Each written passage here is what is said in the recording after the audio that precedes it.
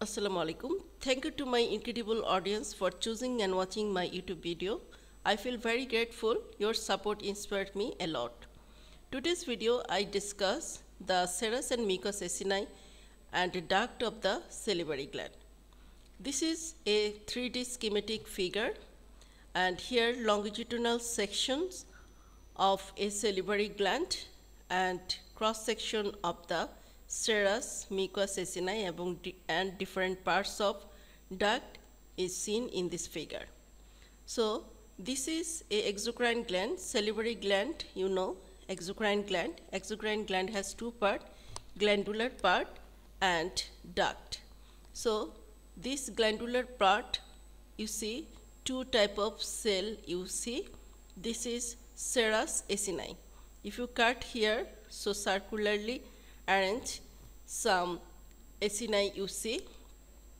The acinus is formed by the cell which content centrally placed round neatly and acinus cell take more staining than the mucous acini. So this is the mucous acini and cross section of the mucous acini.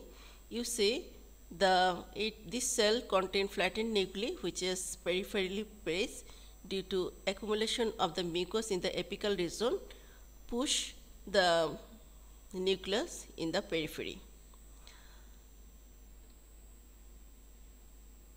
And this is the mucous acini and outside the mucous acini this is the serous cell. So this type of pattern is known as the mucous acini with serous demilune. Now the duct portion. There is a three type of duct present. The initial portion is known as the intercalated duct, striated duct and excretory duct.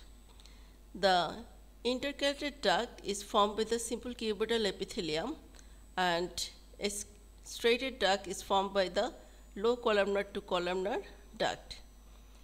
You see, this is the intercalated duct, cross section of the intercalated duct. This is the cross section of the striated duct. You see, the peripheral part striation is present. This striation is occur due to the infolding of the basal plasma membrane. And not only the basal infolding of the plasma membrane, also you see the longitudinally arranged the mitochondria. This is the special feature of the striated duct. So this is all about the um, discussion about the salivary gland and mucous by using picture. If you find this video helpful, please follow my um, YouTube channel and Facebook page. Thank you for watching.